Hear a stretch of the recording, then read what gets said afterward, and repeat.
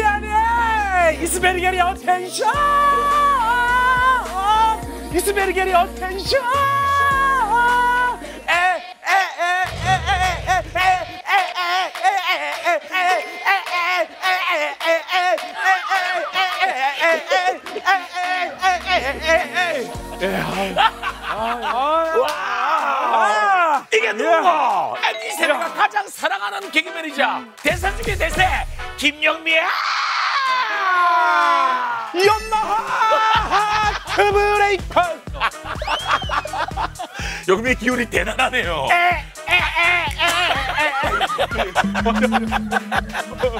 야 오늘 어떻게 지냈어요? 저는 지금 아까 형님이 소개해 준 대로 쿠쿠르 빙뽕에서 열심히 지금 활동하고 있고 그다음에 요즘에 또 방송에서 많이 불러줘가지고 이것저것 하고 있습니다 그래서. 그 공중파에서 너무 많이 보고 있고. 공중파에서요? 아, 적당히 부르세요 그만큼 섭외가 이제 빗발친다는데. 너무 좋은 거죠 사실 어떤 이제 아하, 공중파 얘기를 잠시 뒤에 또 나누더라고. now now 내면 now. N-O-W 야, 잘 살린다. 네이버 now 아, 땀을 흘리고 야, 너무 지쳤어요 갈게 너무 지쳤어요 아니 아니 정말 아, 너무 재밌다. 사실 이 공간이 낯설지가 않잖아요. 이 자리에서 보건교사 안은영 그렇죠, 그렇죠. 근데 우리 나우 스튜디오하고 뭐 안 좋은 추억이 있다고 들었어요. 어 사실 여기가 어. 나우 사장님 잘 들으세요 내 얘기가 무슨 얘기인지 잘 들으세요 여기가 다녀가신 아티스트 분들은 아실 거예요 가실 분 알아요. 이 장소가 주차가 굉장히 협소해요 아. 반대쪽에서 차가 오면 어. 답이 없는데요 여기는 그래서 나갈 때 이쪽에 전봇대 큰 게 하나 있어요 나가자마자 전봇대 있지 근데 전봇대 맞은편에 뭐가 있냐면 헌호 수거함이 있어요 어. 봐봐요. 이게 차가 돌다가 여기서 돌다 헌어 수금에 전봇대거든요. 이게 이게 전봇대예요. 이게 문이 열려요. 여기서. 돌다가 여기 한번 이렇게 부딪 여기 여기 전봇대 부딪힌 적이 있어요. 긁었어, 어 긁었어. 긁었어요. 그래갖고 나왔는데 아침에 보니까 여기에 시커멓게 묻어 있더라고. 아 그래가지고 자, 그러면은 아. 우리 최수윤 대표님 본사 우리 스튜디오 환경 네. 개선을 위해서 어, 예, 예. 예, 여기 카메라 보시고 어 본사 대표님 그 제가 이제 뭐 맨날 다니면서 느끼는 거지만 조금 넓은 곳 나는 혼자 해서 힘들어요. 그래서 좀 넓은 곳에 좀 배치를 해줬으면 아주 좋겠습니다. 그래서 좀 넓은 곳으로 부탁드리겠습니다. Good start, good start. 예, 예, 예, 예. 시작부터 나우의 향한 diss가 대단합니다. 근데 사전 인터뷰 때그 저 그렇게 그 강조했어요? 어떤 걸요? 어? 어떤 거요? 강호동이가 이제 이빨 빠진 호랑이다 뭐 이런 그런 얘기를 했어요? 어 바로 인상이 바로 달라지네. 아, 이거 왜냐면 그럼 내가 틀린 말 했어요? 내가 틀린 말 했어요?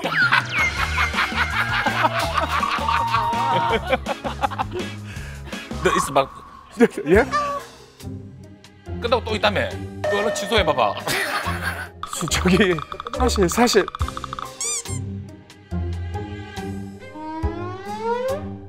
우리 우리 딸입니다.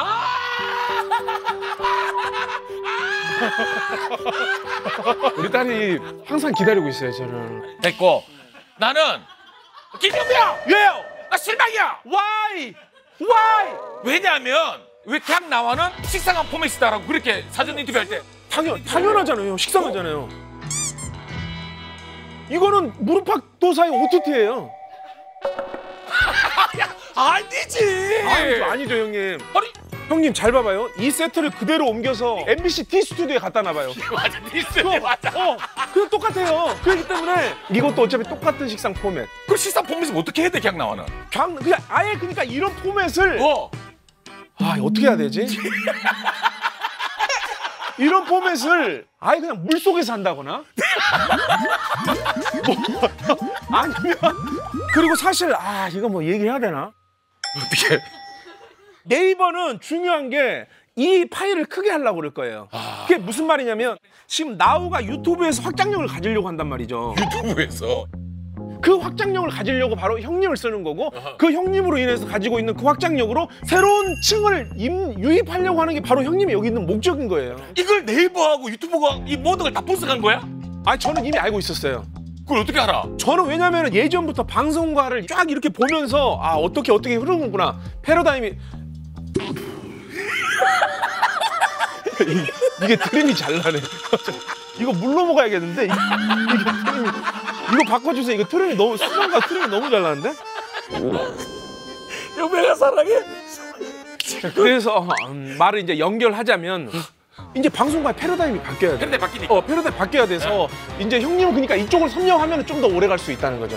어. 예, 그렇기 때문에 아주 지금 좋은 노선을 갖고 있는 거죠. 근데 게스트 분들이 중간 중간에 자꾸 겉돌고 있다 에서 그러고 약간 겉돌 수도 있겠다. 누가 그래요? 김이라 씨가 이렇게 보는 눈이 없는 사람들이 그런 얘기를 해요. 예, 보는 눈이 없는 사람들이 김이라 씨한테 사과하시라고. 김이나 씨, 네. 어, 제가 이때 여기 와서 들었는데 어. 어, 초반에 나와서 어떤 강호동 형님의 어떤 진행 능력이라든가 전반적으로 돌아가는 어떤 토크쇼에 대해서 판단하신 것 같은데 지금에 와서는 처음에 봤던 거랑 약간 상이하기 때문에 겉돈다라는 표현보다도 녹아든다는 표현으로 수정해 줬으면 감사하겠습니다. 예, 네.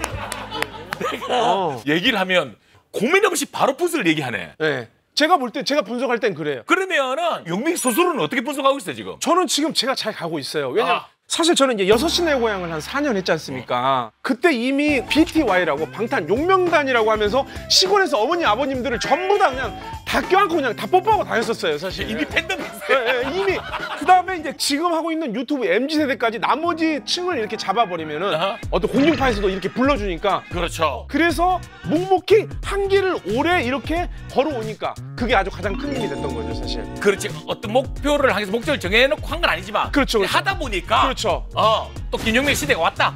시대가 온 게 아니라 사실 저는 그렇게 막 뜬 게 없어요, 사실. 왔잖아. 아니 내 내가 안 왔다는데 왜 왔다고 그러시는 거 아니 본인이 안 왔다 야 벌써 겸손까지 장착한 거야? 아니 그게 아니라!